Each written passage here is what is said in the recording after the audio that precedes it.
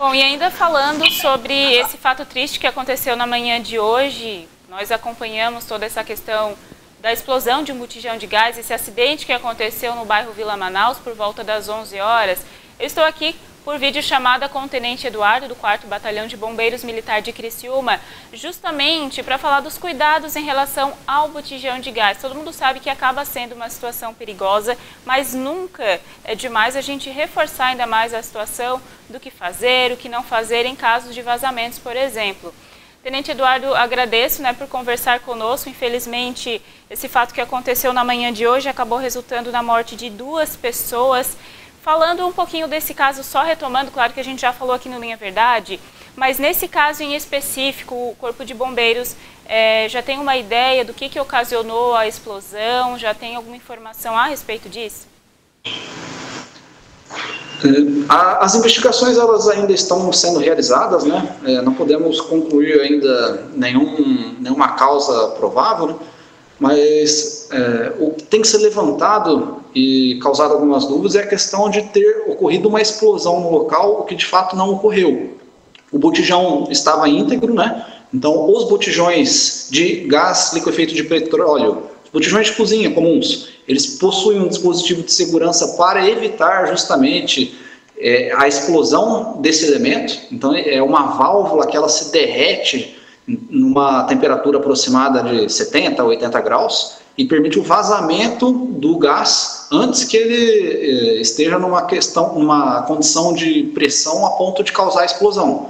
Então, eh, essa hipótese está descartada. Não houve explosão de botijão de gás no, nesta ocorrência. O botijão estava com a sua estrutura íntegra, mas sim apresentava ali a, a válvula derretida, né?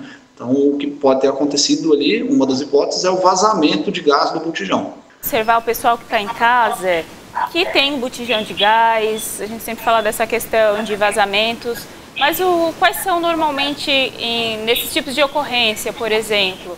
O que, vocês percebem assim de situações que são mais comuns e o que, o pessoal tem que observar para reduzir ao máximo as chances de uma situação como essa acontecer, por exemplo?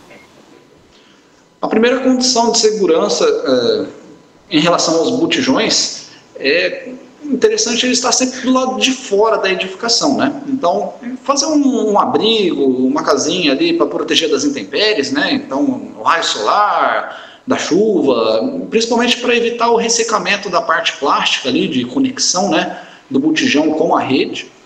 E aí sim fazer a rede de gás, ela embutida na, na estrutura da, da edificação, e a partir dali ela vai para o interior da edificação, lá tem o ponto de, de consumo, é, colocar o mais próximo possível ali do, dos aparelhos que vão fazer o consumo, né? E sempre utilizar válvulas de segurança, é, são válvulas que elas se fecham automaticamente no caso de, de um incêndio, de algum vazamento, né? Então, essa, existe esse, esse dispositivo de segurança.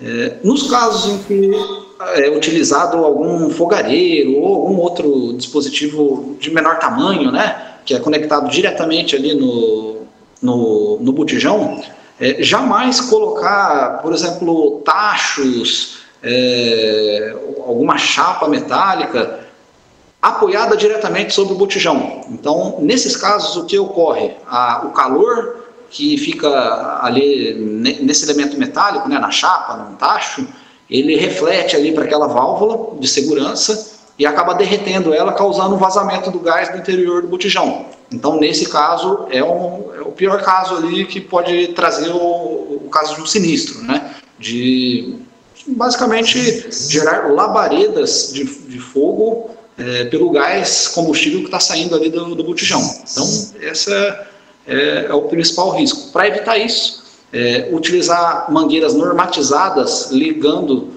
o, o, botijão até o aparelho de queima, né, até o queimador, e essas mangueiras elas vão ter um comprimento mínimo de 1,20m. Então vai ter que estar nessa distância aproximada ali o aparelho de queima é, em relação ao botijão, para evitar esse tipo de sinistro.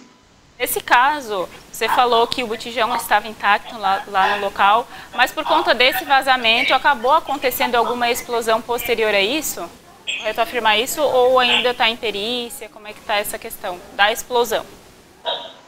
Não, ainda estamos nos, no processo de investigação, mas não houve sinais de explosão no local. É, foi um, incêndio, é, assim como incêndios em, outros, em outros locais.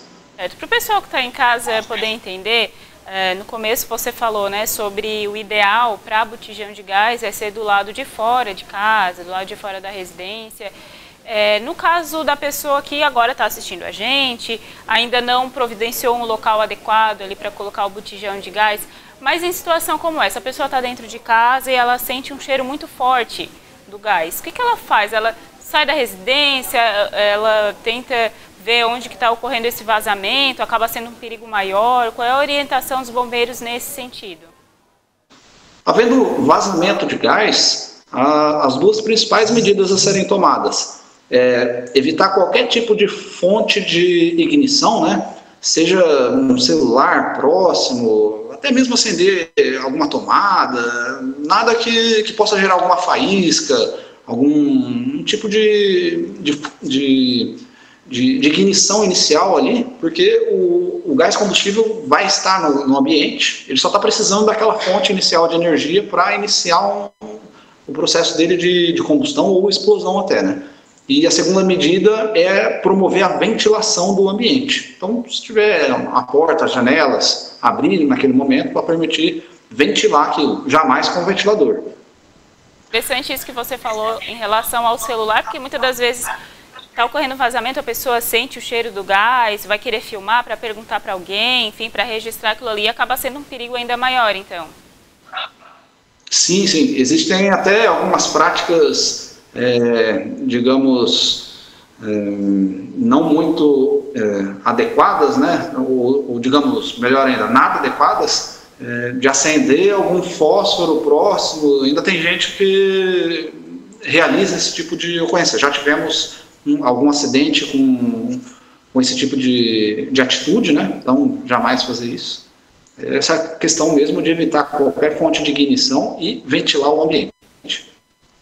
Então tá certo, só para a gente finalizar, retomando no caso de hoje de manhã, infelizmente acabou ocasionando em dois óbitos, uma pessoa morreu no local, a outra acabou sendo encaminhada para o Hospital São José, mas infelizmente também é, veio a perder a vida. Nesse caso desses dois óbitos, foi a inalação da fumaça? Já tem alguma informação a respeito do que teria ocasionado a morte dessas duas pessoas?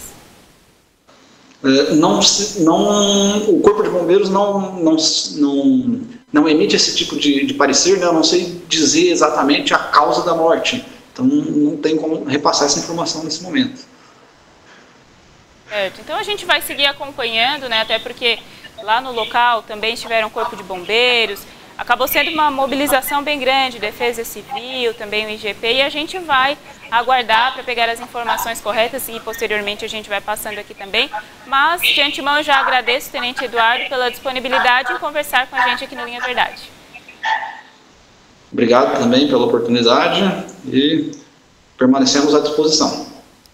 Obrigada. Então, esse é o Tenente Eduardo, do 4 Batalhão de Bombeiros Militar aqui de Criciúma, falando alguns cuidados, né, algumas observações em relação ao gás de cozinha. Infelizmente, esse fato aconteceu na manhã de hoje. Claro que a perícia ainda está investigando as causas desse incêndio, mas a gente sempre deixa o alerta né, para o pessoal se cuidar aí nas suas residências para que, infelizmente, nesse tipo de caso que aconteceu hoje pela manhã, que não aconteça.